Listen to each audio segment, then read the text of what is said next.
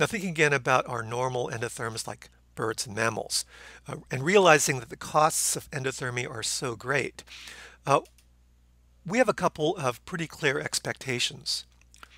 First, we would expect endotherms to be reducing this enormous cost of endothermy through a variety of adaptations that have occurred along these animals' evolutionary pasts. Okay. Second, expect endothermy to evolve only when these considerable costs can be met and exceeded by whatever advantages are gained as a result of this endothermy. Okay. You know, if we think about the diversity of animals, you could ask, well, why is it that only mammals and birds have become endothermic and pretty much everybody else is ectothermic? Now, I think the answer should be relatively obvious that there are a lot of situations in which the costs of elevating one's body temperature are far greater than what the animal can afford given their caloric budget. You have to be able to meet the caloric requirements of endothermy and then some in order for endothermy to be worth your while. And so coming back to number one, minimizing one's heat loss can be achieved through a number of different mechanisms. The first, and maybe the easiest of these, is simply to be large. Now this is related to the phenomenon we sometimes call gigantothermy. And the general idea here is that the bigger you are, the less relative surface area you have to lose body temperature. Now apart from gigantothermy, there are a couple of other possibilities. Now there are a few different mechanisms one could use to retain the heat that you spent so many calories producing. And the other possibility is to actually allow your body temperature to drop, to become cold, either locally in parts of your body or temporarily, as in overnight or uh, over the period of a long winter. And so we'll be discussing a few mechanisms along these lines in turn. And so one of the most obvious ways of retaining heat that you're probably familiar with is the concept of insulation. And while pretty much everybody understands the concept of insulation, or at least in an applied sort of situation, we all put on insulating layers after all. Uh, there's some physicsy issues that need to be discussed before we move further.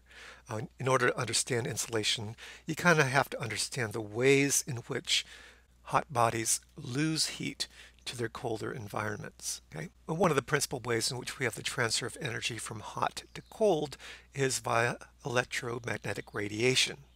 Okay? Hot bodies tend to radiate heat to colder bodies, and that occurs as a result of infrared rays that are emitted from warmer bodies. I mean, if, if anybody who's familiar with the technology of infrared cameras uh, is basically accustomed to the idea that warm bodies emit infrared radiation, which can then be picked up by a device. Now, the reason why insulation works is that this transfer, this radiation uh, from a hot body to a cold environment, it only occurs at the very surface of the body. So if we have a cold surface and a cold environment, the amount of radiative heat loss would be very low, or maybe even non-existent.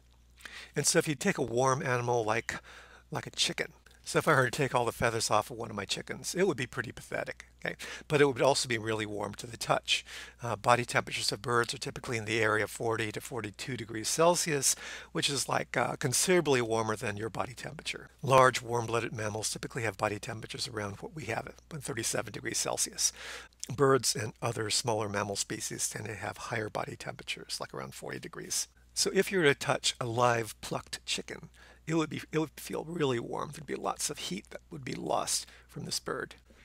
But because of the layers of feathers, what we've done is put a layer of very, very poor conducting material. Okay, feathers trap air.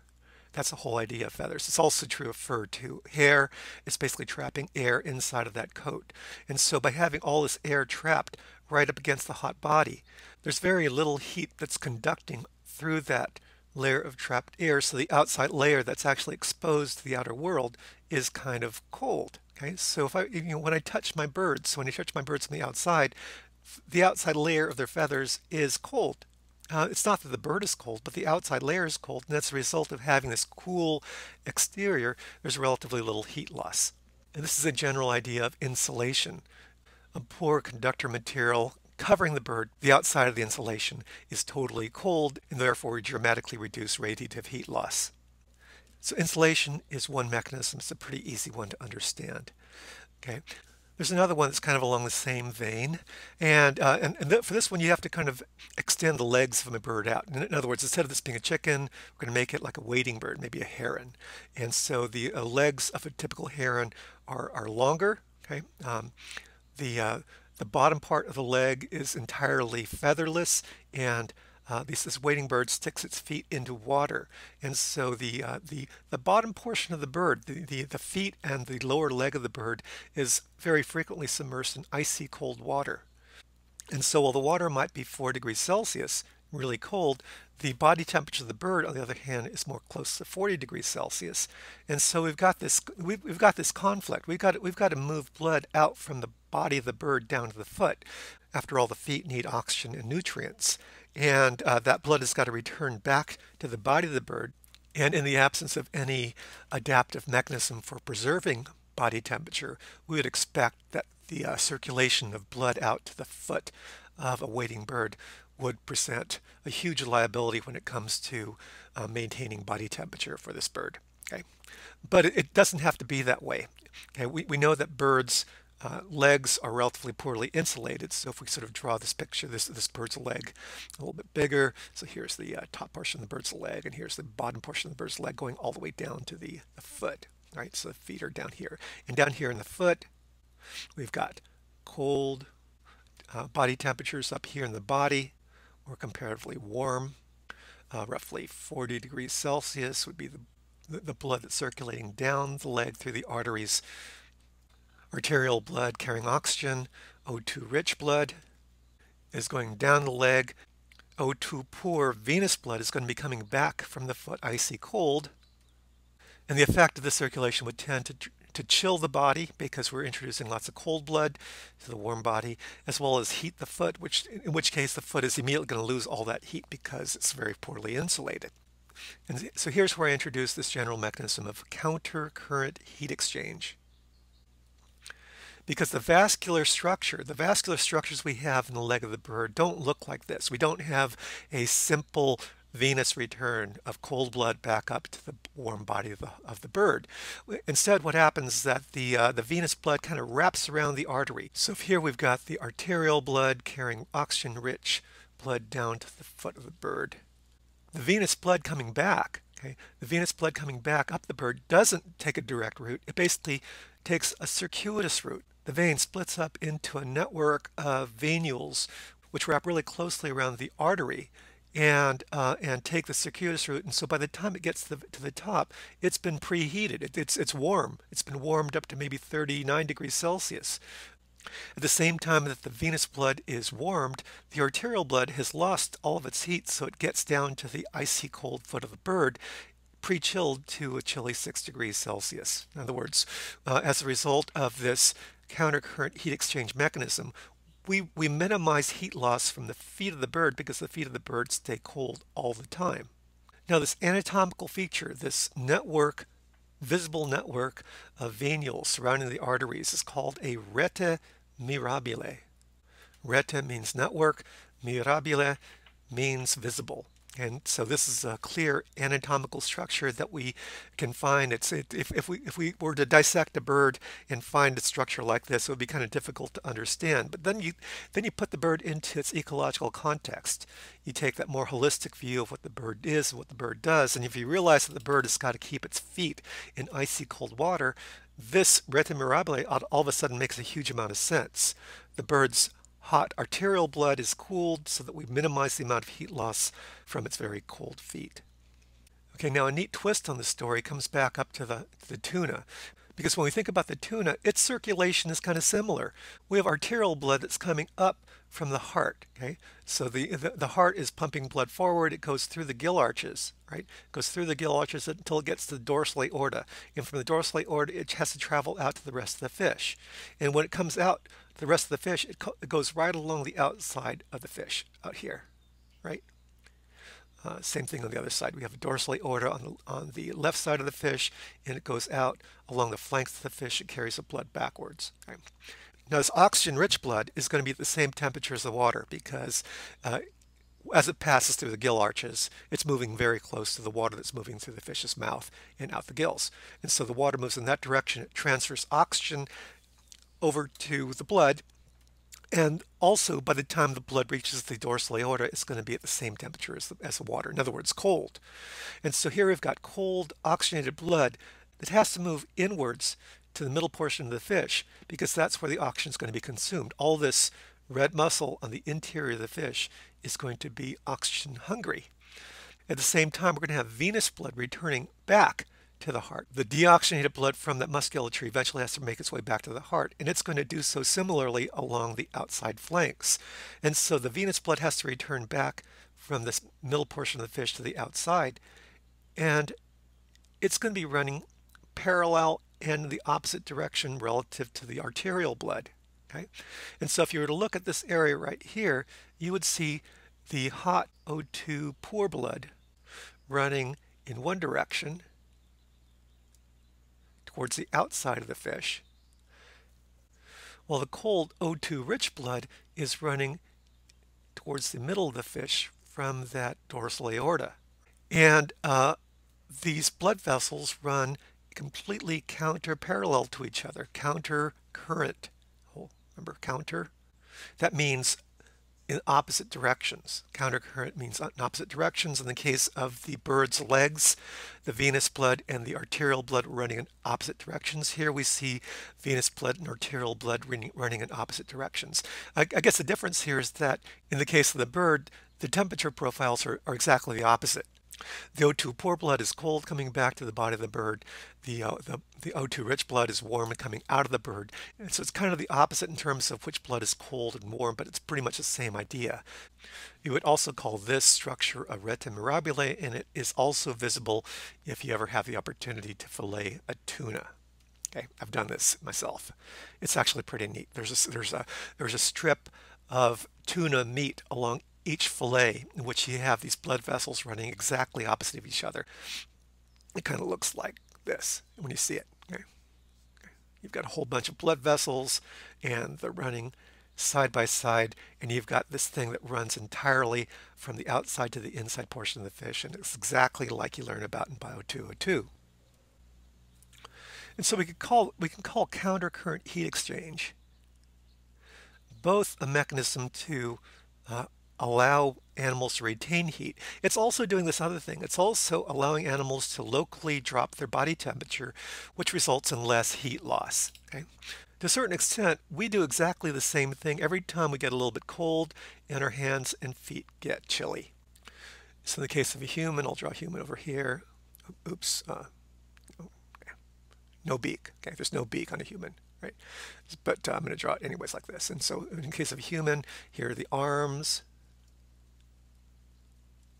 here's the other arm. It's going to go in the other direction. Here's the back of the animal. Okay, here's the uh, here's the rear. Okay, so, so I'm drawing the human facing away from us here. The feet. There's one foot.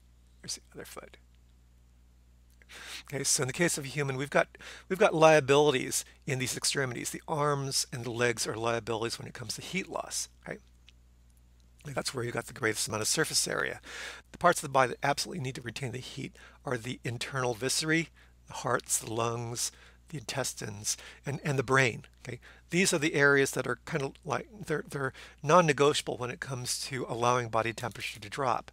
Out here in these extremities, okay, hate to say it, but all we've got there is skeletal muscle. And skeletal muscle operates pretty well even under colder conditions. Okay. And so, uh, and so one thing that we do all the time is to modulate the flow of blood. We've got our heart here. The heart normally pumps blood up to the brain. It pumps blood out to the left arm, pumps blood out to the right arm, pumps blood through all of our internal organs. It pumps blood out to the left leg. It pumps blood out to the right leg. And which of the which of these are absolutely necessary? The parts of the circulation that go to the viscerae as well as to the, the brain. Okay, uh, the skeletal muscles, these are negotiable. And so when your hypothalamus detects that the body temperature is getting a little bit too cold, what it will do, in addition to elevating the uh, tension of skeletal muscle, it'll also kind of restrict circulation out to the arms and restrict circulation out to the legs. Okay, and, and what that does is um, it allows the, the arms and legs to get a little bit cooler and it maintains, basically allows more of the heat to stay where it's really needed in the area of the brain and the body temperature. This is actually related to a general phenomenon we call the mammalian dive reflex. And this happens when we jump into the water. And you know, one of the consequences of reducing blood flow out to the arms and the legs is that the total amount of blood that's circulated by the by the cardiovascular system is reduced. It can be reduced by by about a half. And so, if you don't need to circulate five liters of blood, if you're only circulating 2.5 liters of blood to the viscera in the brain, then your heart doesn't need to beat as fast. Okay? And so one thing that happens when this occurs is that the heart rate, the overall cardiac rate, starts to drop. Uh, you know, there's a demonstration that is uh, that used to be done all the time. We're not allowed to do it anymore. But in this demonstration, you hook up a student with a heart rate monitor, and then you dip the student into a bath of icy water. And what immediately happens is that the circulation of the arms and legs drops to nothing, and the overall volume of blood circulating is dramatically diminished and the heart rate goes from like 70 beats a minute down to 30 beats a minute. Now another mechanism of temporarily dropping body temperature is something that we see in hummingbirds. Um, hummingbirds are, are, are, little birds, obviously. I think you know what a hummingbird looks like. It's, it's like a very small chicken. It's got wings that, that beat rapidly, they beat incredibly fast, and they go around from flower to flower. And, and if you think about a hummingbird, its metabolic rate has got to be ridiculous. It's got to be crazy high. Right? So, and, and it's true. Uh, small birds, small animals have very high metabolic rates. They've got small body sizes, so they can't really have that much insulation. Okay? And, and because they've got high metabolic rates, their temperature tends to be really high. If you were to maintain that elevated body temperature throughout the night, for example, when it gets cold, you'd run the risk of starving to death. Seriously, you, you, you wouldn't be able to maintain body temperature overnight if you're a hummingbird on a cold night. And so what a hummingbird does is it goes through diurnal cycles of high body temperature, low body temperature, high body temperature, low body temperature. During the night, it drops its body temperature to a much lower rate, which allows it to reduce the overall amount of radiative heat loss, and that allows the birds to uh, kind of survive every night. Okay? They're animals that go through long winter sleeps. So if you think about like a chipmunk, cute little chipmunk that's sleeping in its burrow, it would have a tendency to lose heat by radiative heat loss over this long period of its winter sleep. There's a certain expectable rate of heat loss. Now, chipmunks would kind of run the same type of risk as a hummingbird. Okay? Given a long duration of not eating, a chipmunk would be at risk of starving to death, losing all of its biomass reserves simply for the maintenance of heat. And so one thing that hibernating animals tend to do, especially small ones, they tend to lower their thermostat. They can they, they reset their body temperature to a lower level, which allows them to uh, reduce the heat loss during their long winter sleep and as a result survive and wake up the next spring without having starved to death. Now, I've already talked about gigantothermy, but putting this into perspective, you might not be surprised to learn that a much larger hibernating animal, even though it's sleeping for the same duration and with the same uh, food deprivation as the chipmunk, something like a bear, that's supposed to be a bear, okay? Um, it does not need to adjust its body temperature down to the same degree. I mean, if, if at all, it doesn't need to reduce its body temperature to the same degree as a hibernating chipmunk. Okay? Uh, and, and, this would be a, an expression of gigantothermy. Bears having much larger body size have less surface area compared to a chipmunk uh, relative to the overall body volume. It's going to be losing heat at a lower relative rate. Not only that, bears being larger have an opportunity to put on much thicker layers of fur and fat, which allow them to insulate them, their bodies better. Okay. Also related to this idea is the question of whether or not uh, dinosaurs, or the non-bird dinosaurs of the Mesozoic, were endotherms or ectotherms. Okay? So if you think about something like T-Rex, which compared to a modern chicken would just be huge. So this is a chicken over here, a T-Rex would be enormous. A chicken, being a relatively smaller animal, would need to rely on physiological endothermy to a far greater extent relative to a large-bodied T-Rex, right? Uh, Tyrannosaurs, being large, have the same issue going on as bears. Simply being large means that it's going to be losing body heat at a far slower rate compared to a smaller bodied animal like a chicken. Okay. Now, on the other hand, we, we, all, we, we do know that uh, dinosaurs, maybe not T-Rex, but there's another tyrannosaur called Yutyrannus uh, from China, which definitely had body feathers. Okay? And uh, the fact that these animals had body feathers could suggest that they might have actually been uh, adapted towards maintaining body temperature. It's it's difficult to tell. I mean, the other hypothesis was that the feathers uh, of tyrannosaurs and other dinosaurs were serving as sexually selected ornamentations. Uh, there's really, it's really kind of difficult for us to tell. I mean, the other thing about the Mesozoic was that it was pretty warm and there would have been relatively little need to elevate body temperature. I mean, you could rely on ectothermy and elevate your body temperature pretty well that way. Now, this question of whether dinosaurs were or were not warm-blooded brings to mind another study that I remember reading uh, the last 10 years or so, but it had to deal with nose size or the size of an animal's sinus cavity. And the argument kind of goes like this. Okay? There's your nose. Okay? And when you inhale, the air passes into a pretty large sinus cavity. There's, there's a pretty large space inside of your face that accommodates the air that you breathe in through your nose. Part of it is related to your olfactory senses. Those, those receptors are up here. But the other thing that happens as the uh, air passes from your nasal cavity down towards your lungs is that it has to move across fairly large islands, okay, large spaces, and it's kind of like a labyrinth. Sometimes we'll have these these spaces where the air moving in, we're going to have quite a bit of air moving in. The air is going to have a chance to uh, kind of spread out, reduce the rate of flow. It slows down. The air is flowing in different directions. Uh, we have these uh, respiratory respiratory conchae or turbinates, basically as a result of this slow kind of random movement of air as it passes between the nose and the pharynx where it joins up with the trachea. Okay, we have this area of very slow flow, a slow flow, and this allows air that's inhaled to become humidified and heated preheated so the uh, cold air that we might be breathing in on a chilly day is not going to lower our body temperature as much as it would had that air taken a more direct route to the lungs. Okay, It would also be pre-humidified, which is going to create less stress on the lung tissue. Okay. Similarly, yeah, this, this, this area of the sinus cavity will be cooler compared to the rest of the body. And so the air that's exhaled, air coming back out from the lungs, is going to be passing through this slow area of flow in the opposite direction, it's going to be chilled and dehumidified as it passes back out. Okay, and so the result here is a really nice mechanism that is clearly associated with um, not losing heat at a very rapid rate. By having this slow and turbulent flow of air through the sinus cavity, we're able to maintain both body temperature as well as body moisture. You could say that this is a pretty nice adaptation that would go along with endothermy. The bottom line of the study was that when you look at the skulls of mammals and birds, you see a pretty large sinus cavity. In other words, when you look at the skeletal anatomy of mammals and birds, the sinus cavity checks out pretty nicely. We've got pretty large areas in which we have an opportunity to slow and uh, make more turbulent the flow of air coming into the animal. When you look at a dinosaur skull, on the other hand, I mean, e even though birds are dinosaurs, one of the differences is that birds' sinus cavities are much larger relative to the overall skull size compared to dinosaurs. It seems like dinosaurs didn't have the sinus anatomy that would have allowed for this type of respiratory slowing of air breathed in. On the, on the other hand, might not have been so necessary during the Mesozoic when we were pretty much dealing with ambient conditions of pretty high humidity and pretty warm temperatures anyways. Okay. Now that's going to do it for the part of this lecture dealing with thermoregulation.